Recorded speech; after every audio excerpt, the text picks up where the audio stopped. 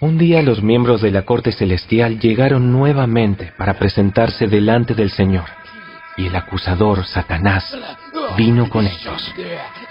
El Señor le preguntó, ¿De dónde vienes? Satanás contestó al Señor, He estado recorriendo la tierra.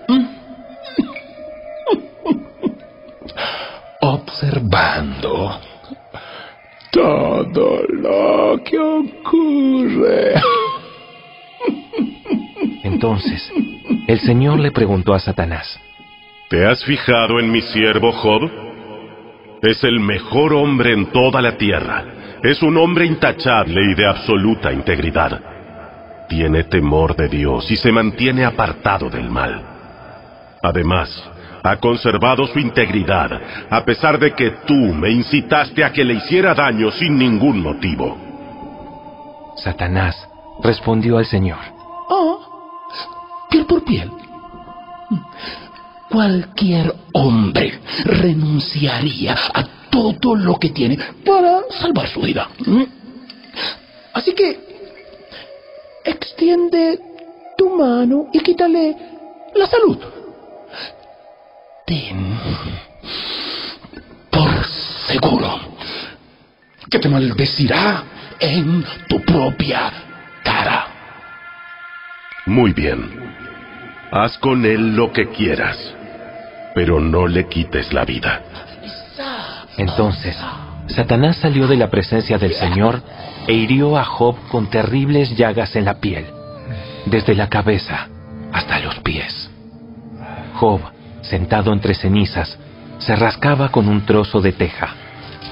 Su esposa le dijo, Todavía intentas conservar tu integridad. Maldice a Dios y muérete. sin embargo, Job contestó, Hablas como una mujer necia. Aceptaremos solo las cosas buenas que vienen de la mano de Dios y nunca lo malo. A pesar de todo, Job no dijo nada incorrecto. Cuando tres de los amigos de Job se enteraron de la tragedia que había sufrido, viajaron juntos desde sus respectivos hogares para consolarlo y confortarlo. Sus nombres eran Elifaz el temanita, Bildad el suita y Sofar el naamatita. Cuando vieron a Job de lejos, apenas lo reconocieron. Con fuertes lamentos, rasgaron sus vestidos y echaron polvo al aire sobre sus cabezas en señal de dolor. Entonces, durante siete días y siete noches, se sentaron en el suelo, junto a Job, y ninguno le decía nada, porque veían que su sufrimiento era demasiado grande para expresarlo con palabras.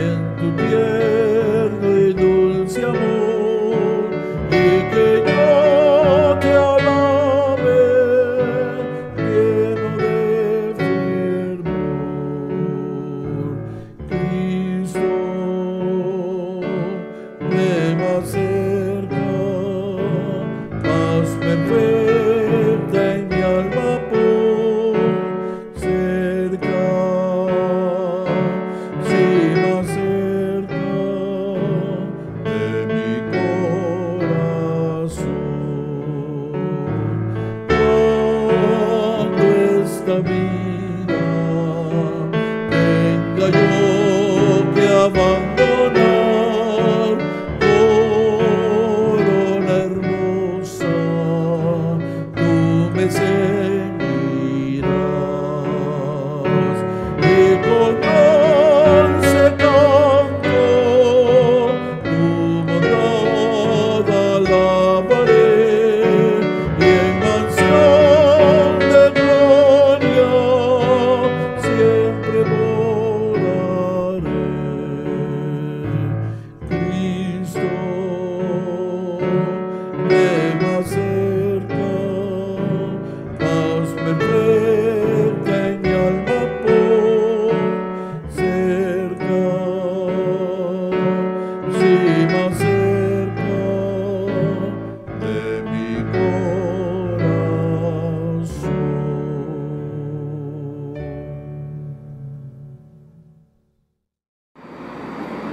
objetivo de la prueba. Así es, tal como lo dice el título del tema de este día, la prueba tiene un objetivo en la vida del cristiano. Nada eh, que ocurre en nuestras vidas o ninguna prueba por la cual eh, nos toque pasar es en vano, sino que lleva un propósito. Y esto pasó en la vida de Job. Es por eso que el texto clave del tema de hoy nos dice en el libro de, de Job, capítulo 2, versículo 13. Así se sentaron con él en tierra por siete días y siete noches, y ninguno le hablaba palabra, porque veían que su dolor era muy grande. Definitivamente la fe eh, del cristiano es puesta a prueba, la fe del cristiano sale a flote en los momentos de dificultad, en los momentos de prueba. Ese es uno de los propósitos o, o objetivos de la prueba, sacar a, flote nuestra fe. Por otro lado, también la prueba eh, saca todo aquello que hay en nuestro interior, de qué realmente estamos llenos, porque dice la palabra que de la abundancia de la boca habla el corazón, así que en los momentos eh, de pruebas, qué tan fieles somos y de qué estamos realmente nosotros eh, llenos en nuestro interior. Eso sale también a flote. Y por otro lado, la prueba eh, también sirve para que nosotros cambiemos de, de actitud, para que haya un cambio, eh, por supuesto, a, positivo en nuestras vidas. Y Job te damos gracias, Señor, porque nuevamente nos das esta oportunidad de poder estar conectados a través de estos medios para poder estudiar, Señor, acerca de, del sufrimiento, Señor, en nuestras vidas. Gracias por tu palabra, Señor. Gracias por tus enseñanzas.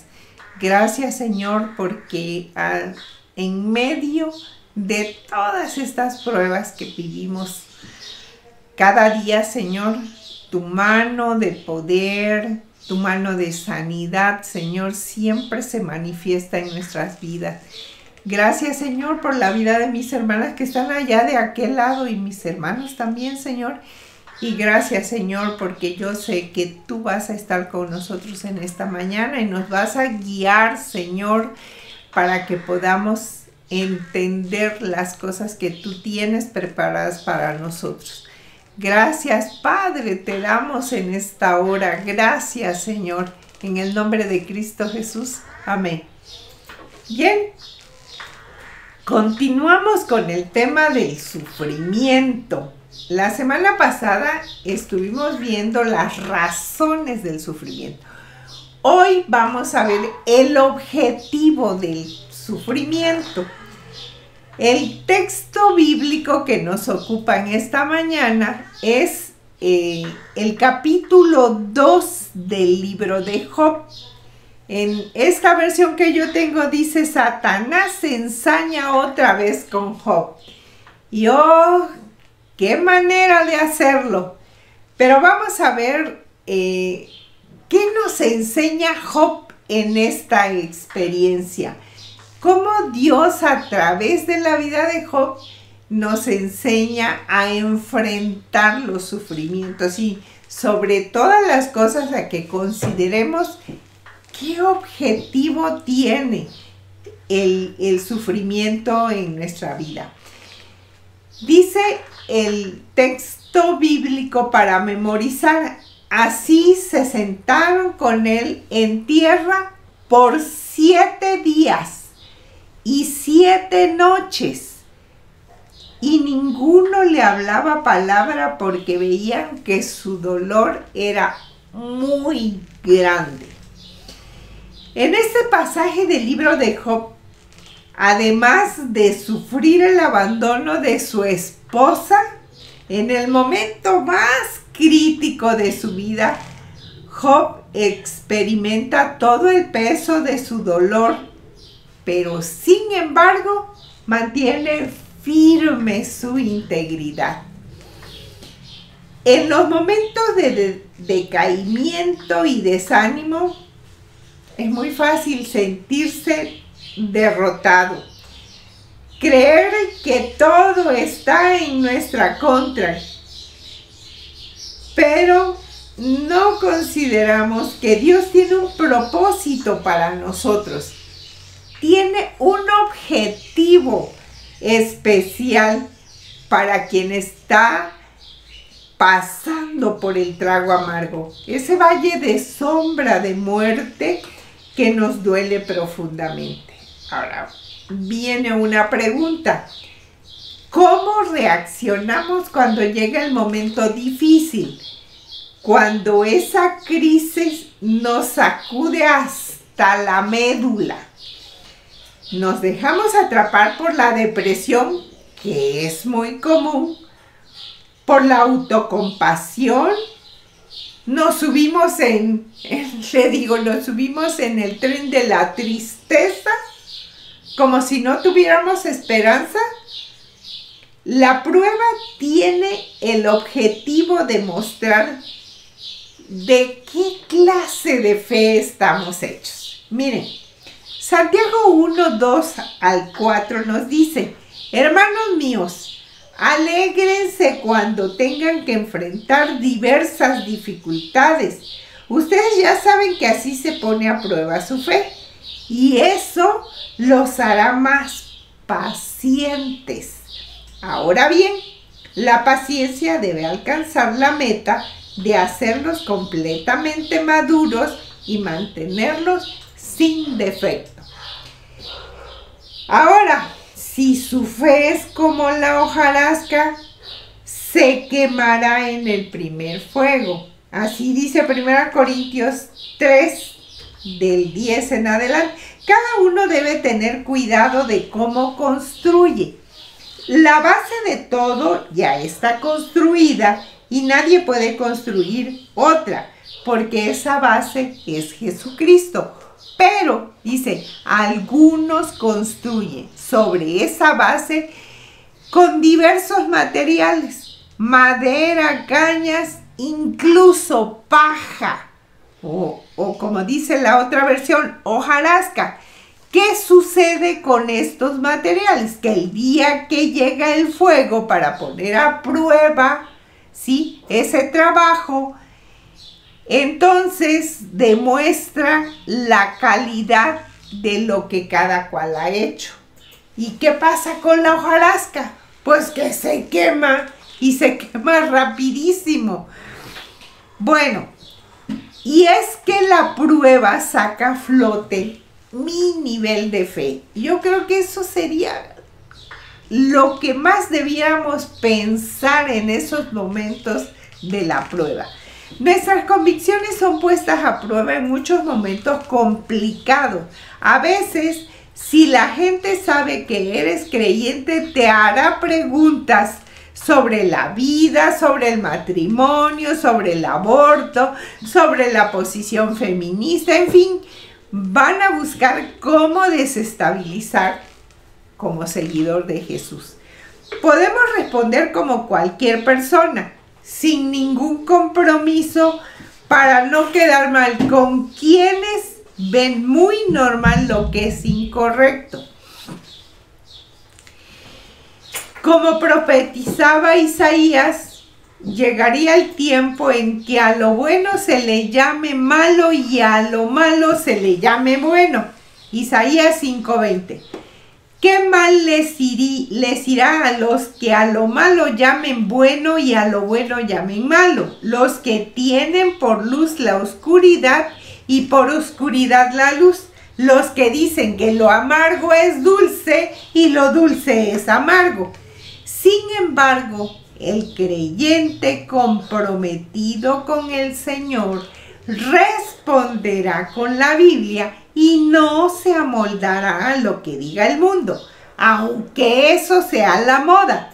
El creyente tibio reaccionará de acuerdo a las circunstancias que está viviendo o a las conveniencias para no ser exhibido.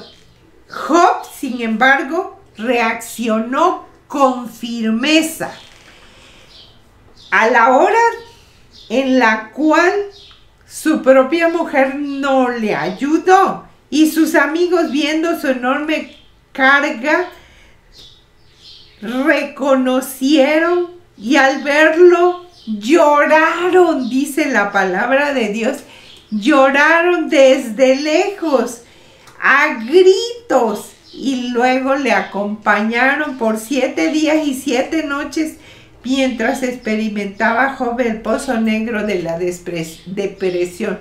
Dice que guardaron silencio ante lo que ellos estaban viendo que estaba viviendo Job. Job fue sacudido, pero Dios tenía un plan en medio de esta dolorosa situación. Y debiéramos preguntarnos, hermanos, cuando pasamos por una dura prueba, ¿cuál es el objetivo de esta? Job mostró que su nivel de fe era genuino. ¿Cuál es mi, mi nivel de fe? La prueba revela, revela el corazón del hombre.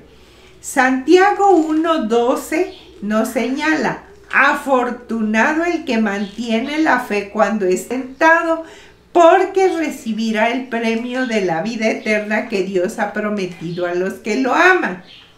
En nuestra versión 60 dice, bienaventurado el varón que soporta la tentación, porque cuando haya resistido la prueba, recibirá la corona de la vida que Dios ha prometido a los que lo aman. Si ustedes notan, hay dos palabras claves, soportar y resistir. Son las dos cosas que nosotros debemos tomar en cuenta de este pasaje. Si soportas la prueba, hermana, recibes fortaleza por resistir el momento crítico. El carácter del cristiano no es reflejado en cuanto aguanta la crisis. Job fue un hombre expuesto a la prueba, la más grande que pueda soportar persona alguno.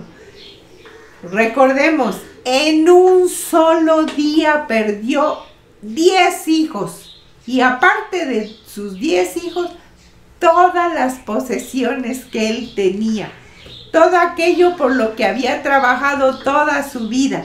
Sin embargo, mostró una entereza de carácter envidiable. ¿Cómo reaccionamos nosotros ante la adversidad? Somos de aquellos que aguantan como las palmeras. Las palmeras que en una tormenta más intensa, en los huracanes más fuertes, se doblan, pero no se quiebran. Se mantienen firmes. El oro, por ejemplo, el oro es puesto a prueba en el fuego para quitar la escoria que son las pequeñas basuritas en este proceso. Pero ese metal es purificado y al, al, ser purificado aumenta su valor. Así, el creyente sometido al fuego de la prueba será purificado. Dios va a estirar nuestra paciencia para mejorarla.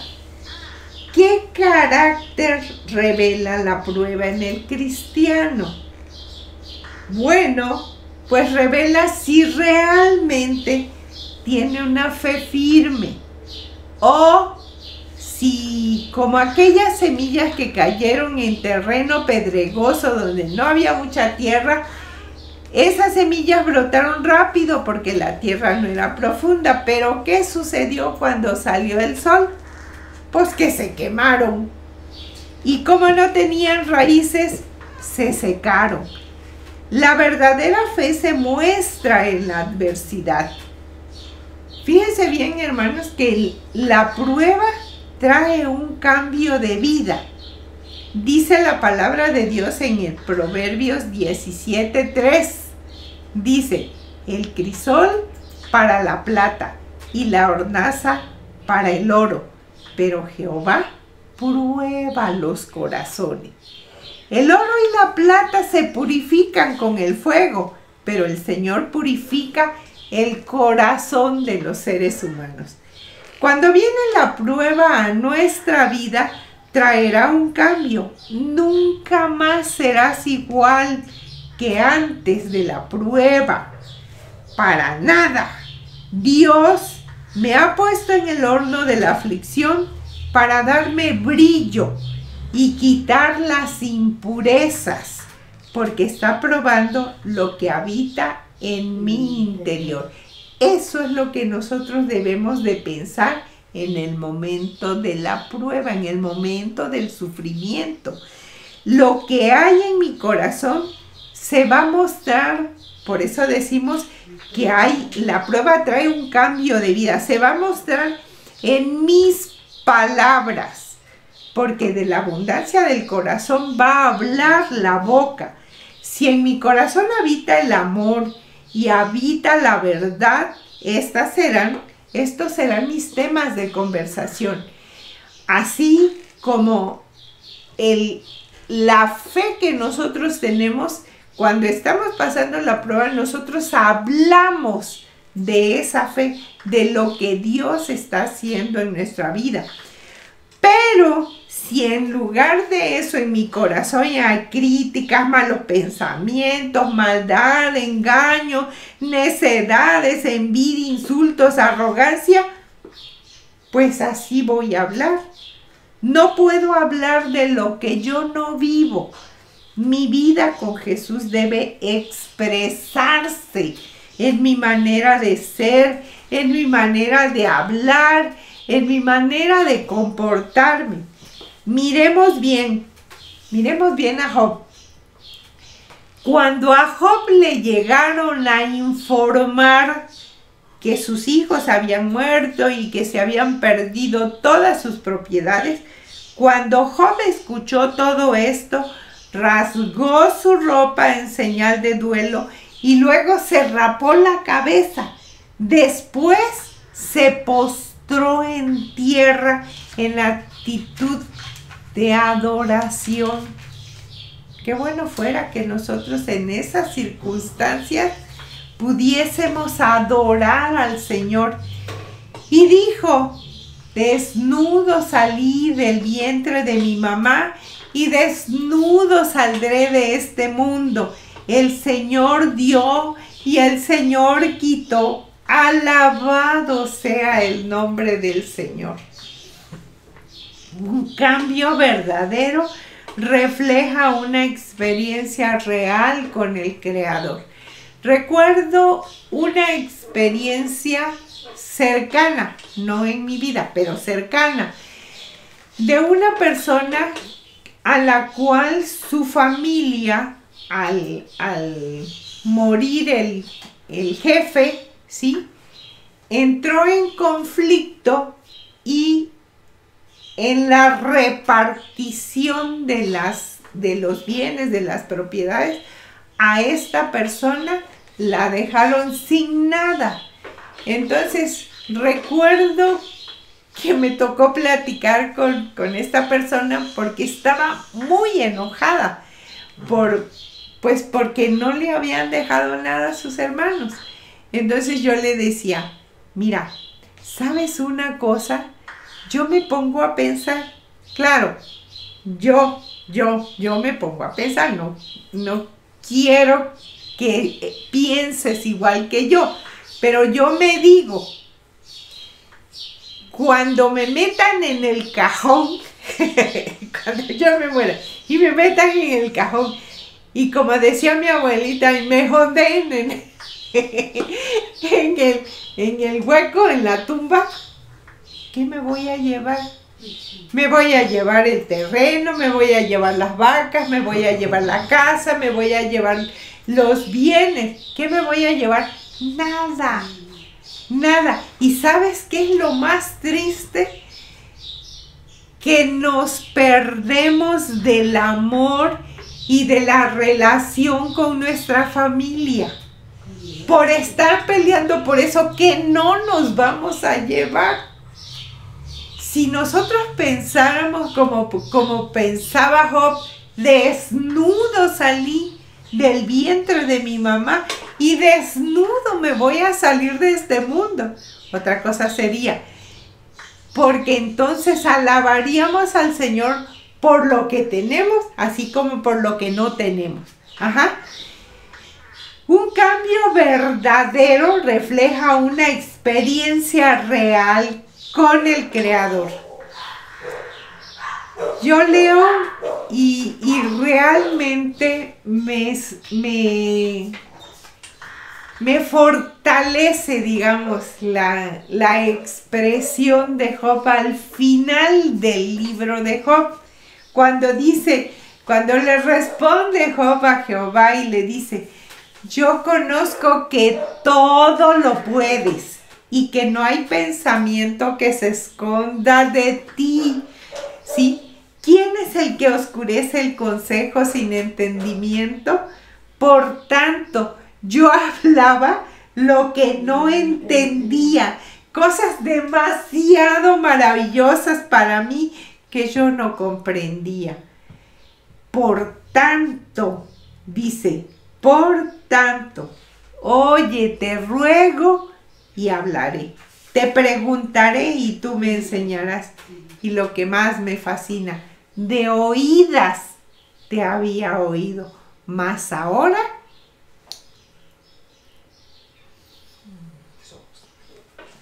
mis ojos te ven. Por tanto, me aborrezco y me arrepiento en polvo y ceniza. Estamos llamados a ser diferentes y a ser luz en este mundo, en este mundo de tinieblas.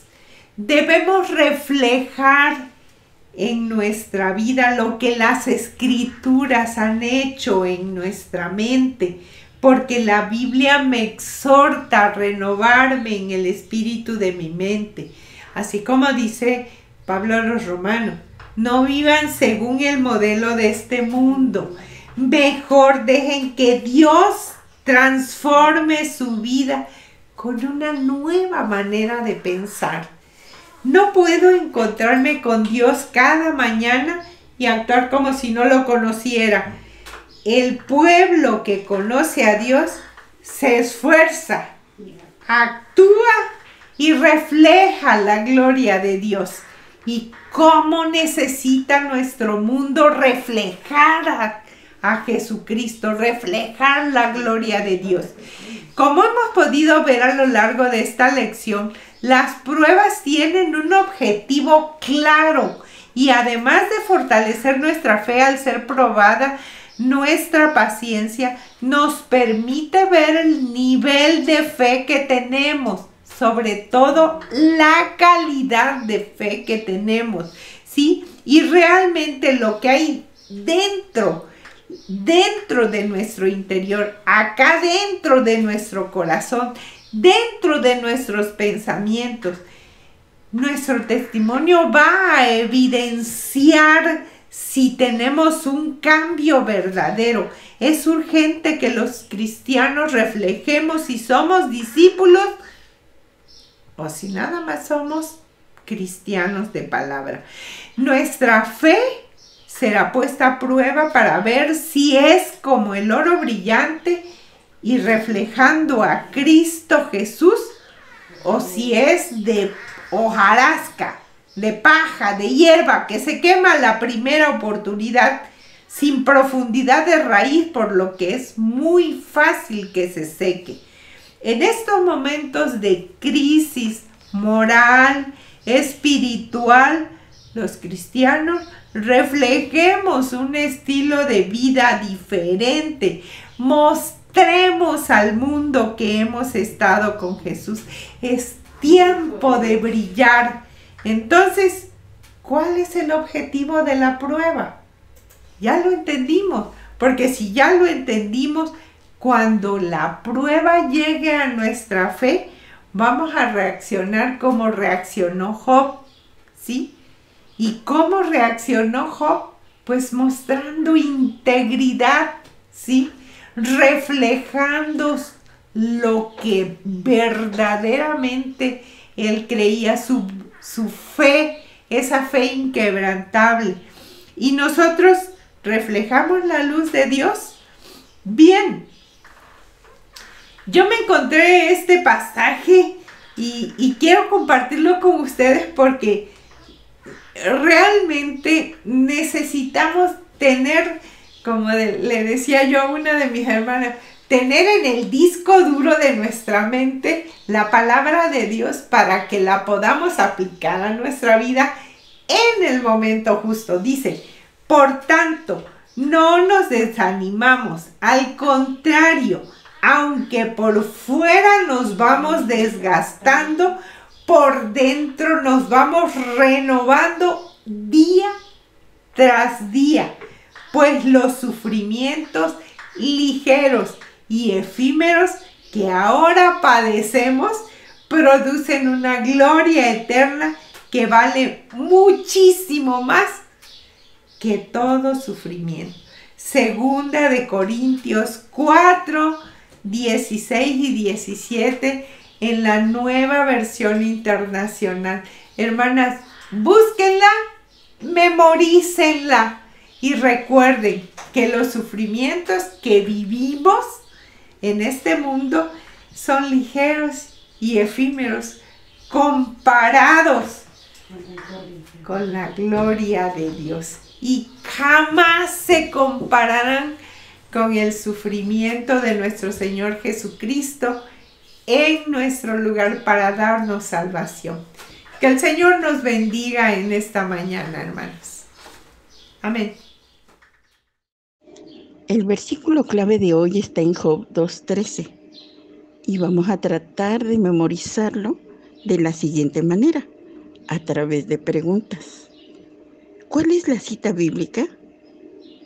Job 2.13. Muy bien. ¿Cómo dice Job 2.13?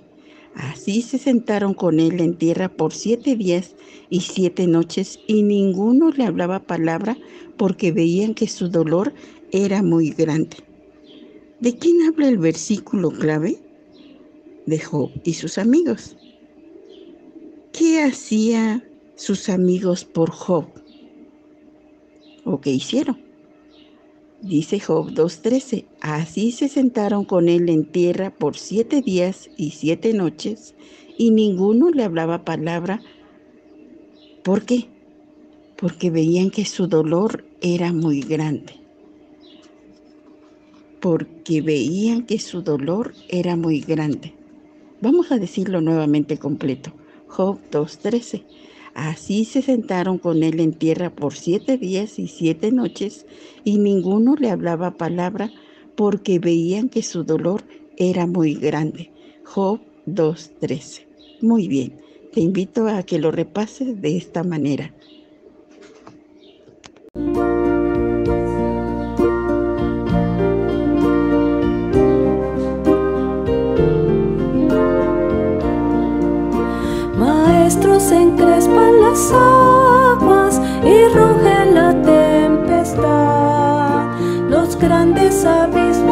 cielo se cubren de oscuridad. No ves que aquí perecemos, puedes dormir así. Cuando el mar agitado nos abre, profundo sepulcro aquí. Los vientos, las ondas, soy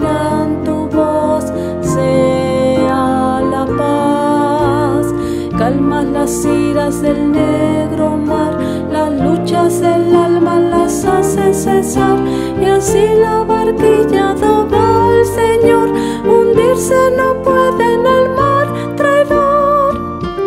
Doquier se cumple tu voluntad, sea la paz, sea la paz, tu voz resuena en la inmensidad,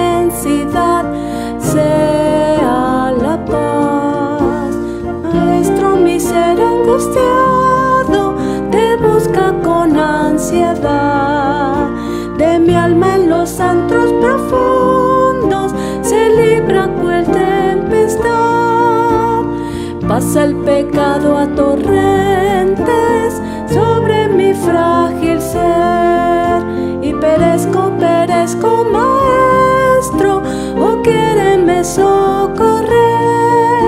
Los vientos, las ondas oirán tu voz, sea la paz. Calmas las iras del negro mar, las luchas del alma las hace cesar, y así la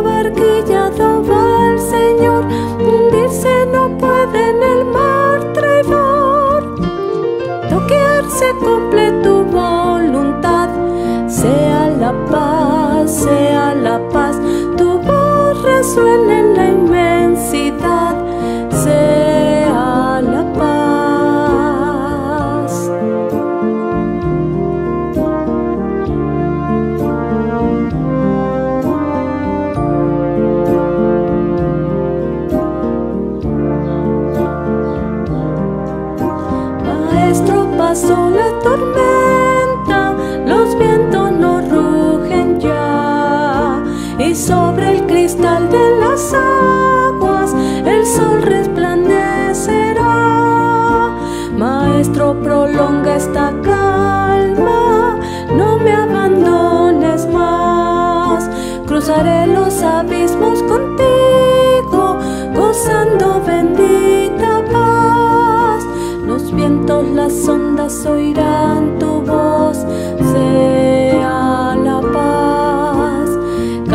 las iras del negro mar, las luchas del alma las hace cesar, y así la barquilla va al Señor, hundirse no puede en el mar traidor. Doquier se cumple tu voluntad, sea la paz, sea la